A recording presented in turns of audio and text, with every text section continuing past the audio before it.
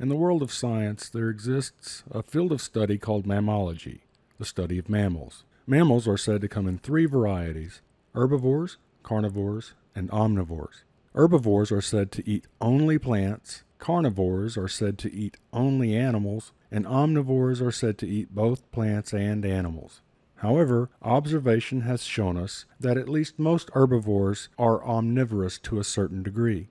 But this does not negate the fact that mammals tend to have a hard physiological lean toward either herbivorism or carnivorism. One great way to distinguish if a mammal is primarily carnivorous or herbivorous is to examine the digestive system. Herbivores subsist on a high fiber, plant based diet by incorporating one of just two models of fiber fermentation chambers. Some herbivorous mammals are foregut fermenters, also called ruminants, and some herbivorous mammals are hindgut fermenters.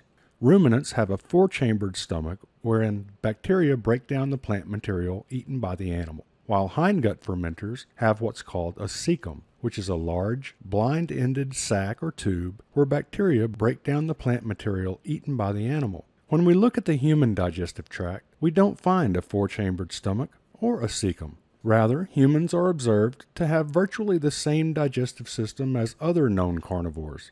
There is a leftover remnant of a cecum called the cecal appendix. The cecal appendix has no function in humans and is considered a vestigial structure. A vestigial structure, or vestigial organ, is an anatomical feature that no longer has a purpose in the current form of an organism of the given species. These vestigial structures were organs that performed some important function in the organism at one point in the past, perhaps hundreds of thousands or millions of years ago, but are no longer required to survive or thrive. It's pretty clear that since humans are not physiologically equipped to derive their sustenance from plant foods, people who eat a plant based or vegan diet cannot acquire sufficient amounts of macro or micronutrients. This is why we always see vegans slowly degenerate into a complete mess, and why YouTube is busting at the seams with why I'm no longer vegan testimonials.